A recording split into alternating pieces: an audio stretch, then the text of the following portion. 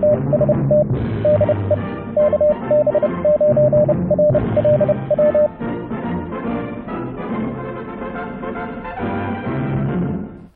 YouTubers and fellow hams. Well, this is sort of in the series on the CW Flea transmitter. If you haven't watched that video, um, I've linked the first two videos in the description below. You can go check that out and see what we're talking about here. So it's been a long couple of weeks. Um, I've had a lot of frustrating days and been chasing my tail, uh, chasing a wild goose. uh, and I thought that I'd just do a quick video as a cautionary tale to other people. So for this transmitter project, now it's built using an Arduino and an SI5351 breakout board, which is the uh, VFO uh, in this transmitter. And uh, I, I, I thought, you know, people that are going to build this project, they're probably going to go to Amazon. They're going to search for the parts, click buy it, and, and, you know, be done. And so I thought I'd go down that path and uh, and get the parts that you're going to get through Amazon. Now, with the uh, 5351 breakout board, in the schematic, I recommend the Adafruit or EtherKit board. But on Amazon, there's some pretty tempting deals, and one that I found was uh, three of them for only $15. Now, a single board from Adafruit, I think, was around 10 or $11 for a single one, and here I could get three for $15, and I thought, you know, it, that, that was appealing to me, so it's probably going to be appealing to other people. So that's what I bought. Well, um, I ran into problems. Now, I shot a couple of video clips, so let me run those for you, and then I'll come back and we'll sum up. Apologies in advance for the cell phone video. I'm being lazy because I've been very frustrated and I've made a breakthrough and I wanted to show it to you guys. So I have for the past couple of weeks been fiddling around with breadboarding the transmitter, the flea.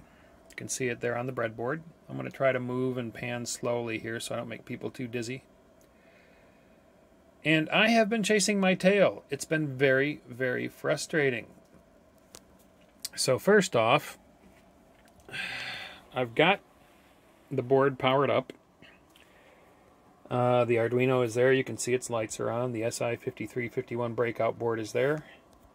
I've got my code key hooked up over here so I can key down to turn on the uh, clock generator and get an output. And I've got the oscilloscope hooked up to it. And if I key down, we get a signal, or what looks like a signal. It's not very stable. You can see it's kind of, let me stop that. You can see it's kind of rounded and it dances around a little bit.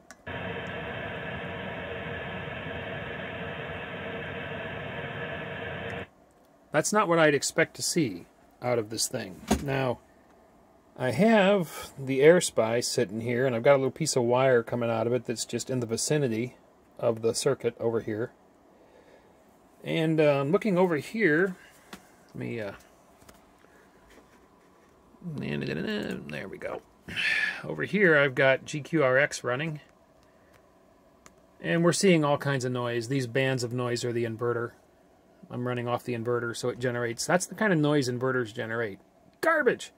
But when I key down,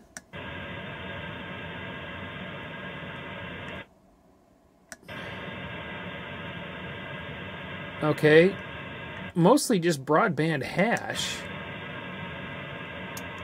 A couple of noisy looking things over here. Um, garbage. I'm not getting signals that I should be seeing. I should be seeing a pretty solid, I should be seeing a pretty solid um, signal and some harmonics because it's a square wave, right? But that's not what I'm seeing. And this has been driving me nuts. So let's uh, take a closer look at things. Okay, I'm trying to get a camera angle here that lets me get get you guys in here and I can still look through the lens and see what I'm doing. Let me get the probe out of here for a moment. This board, this SI5351 breakout board, uh, I ordered this through Amazon. Now, I knew that when people built this project, they were going to go to Amazon to buy parts and just click on things and take what they can get. And these came in a three-pack, really cheap. And they're from Elegoo, which is a Chinese manufacturer of parts and components. Uh, for example, I also got the uh, Nanos from Elegoo. And uh, they're working fine. I've bought these Nano clones before, and I've never had any trouble with them, but I'm always suspicious of the clone parts, you know, because they're going to be put together with whatever the cheapest thing that they can get is. And this little breakout board looks fine. It's got the 25 megahertz crystal on it. And it's got text on it there. You know, clock clock generator SI53518. Well, 5351, 8 kilohertz to 160 megahertz, yada yada yada. It's got the level converters, so it uh, can take 5 volts in. And uh, over here it says 25 megahertz crystal, and it's got all the right components. But um, I can't get it to work. I can't get a signal out of it. I cannot get a clean signal out of this board.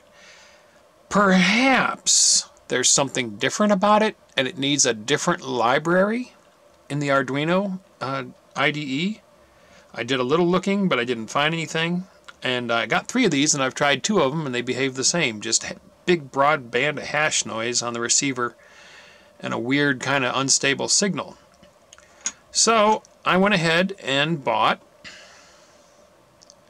this board from Adafruit. Now I've purchased boards from Adafruit before, never had trouble with them. I've used one of these, in fact, in my 630 meter transmitter. So again, it looks the same. It looks like all the same components. Let's plug it in. Line the pins up right, yep. And I'll hook the scope probe back up.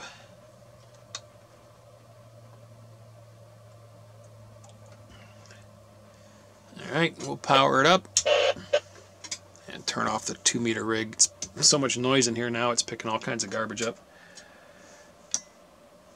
Oh yeah, alright, let me put this wire back in the connector on the receiver. Oh, yeah. okay. That's weird. The frequency's weird.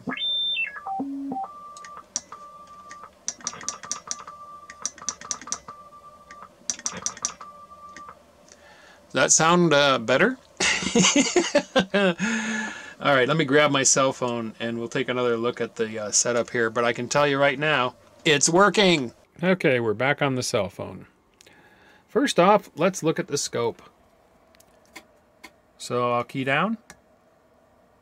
Look at that. Now that's what I'd expect to see from a square wave going through the scope probe. The scope probe's not terminated, but it's a nice, clean square wave. The scope's locking onto it. It's steady.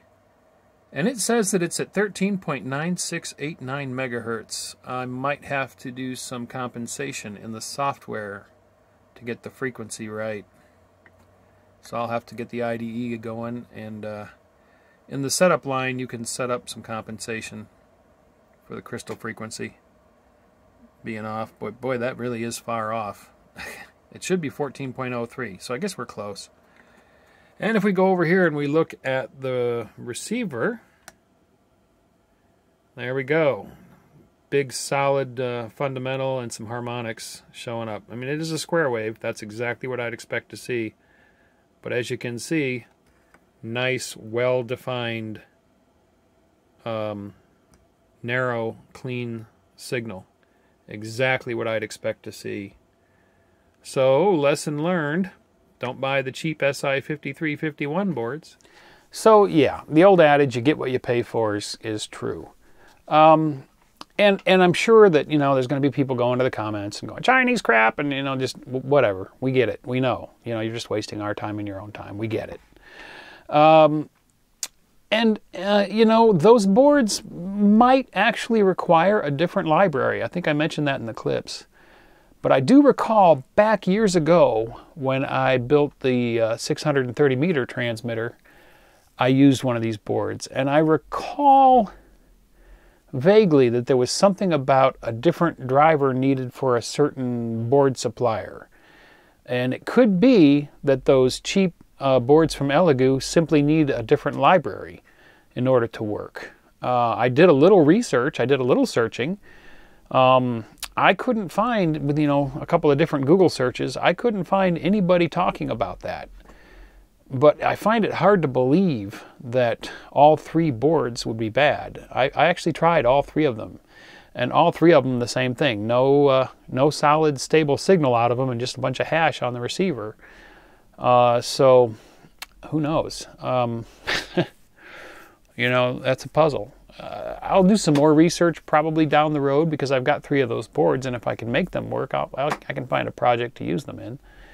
Uh, but as it stands, um, as I recommended on the schematic, buy either Adafruit or EtherKit.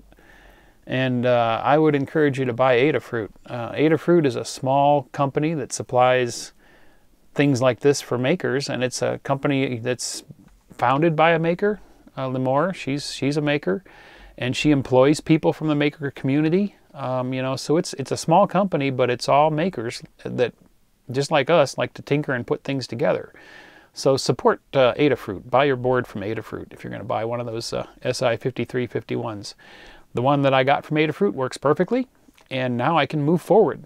I tell you what, man, there was a couple of times over these last two weeks when I was ready to just to throw the whole thing in the trash. I got so frustrated running around in circles just trying to figure out why I couldn't get a, a, clean signal out of that board. And, you know, is it my breadboard? Is it the wiring? I redid things over and over and tried this and tried that and just got more and more frustrated. And so I would hate uh, for somebody else to go through that frustration. So I'm making this video as a cautionary tale, as it says in the title. Don't buy the cheap stuff when it comes to the 5351. Now the Arduinos, um, the Nano clones, they're working okay for me. Uh, I, I have bought three of those uh, again from Elegoo, and they're working fine. So you're probably safe with those. Um, but you know, of course, if you want to buy the official Arduino Nano, then you're supporting the Arduino um, group. And uh, I actually should probably buy mine from there too, but I have these and they work, so I'm going to use them. But that's just me. So um, now that I've got a solid signal finally coming out of this thing, I can move forward with testing transformer designs, which I've got uh, three different transformers I've wound that I need to put on there and, and see what kind of power transfer I get through to the load. Uh, and then figure out which design is the one to go with, and then I'll be able to actually build the thing onto proto boards and get it on the air, which I'm really looking forward to. Right now, I just have the transmit path on the breadboard, just the uh, the Arduino, the 5351, the uh, 74LS244, and I was fiddling around with the low pass filter design there as well. You might have noticed that on the board. Uh, but uh, uh, I need to get the, uh, the coupling transformer solidified and working and then I can build it onto proto board. And that'll be the, the next video will be a build video. Now that I've got a signal, I can move forward and uh, the next video will probably be a long one. I'm going to try to set the cameras and lights up and uh, let you look over my shoulder while I'm building this thing onto a proto board. I haven't done that in a while. I don't think I've done a video like that since I built the QCX.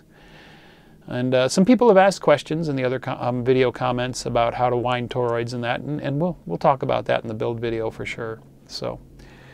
I've got to get busy testing transformers and uh, get that finished up and the schematics finished up on the blog right up with the right transformer.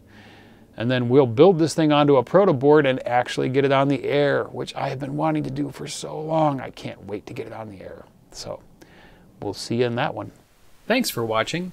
If you enjoyed the video, don't forget to give it a thumbs up. Also, if you're not already a subscriber, click to subscribe. Join us on the Facebook channel for discussion about the videos and if you'd like to help support this channel, please click to support me on my Patreon page.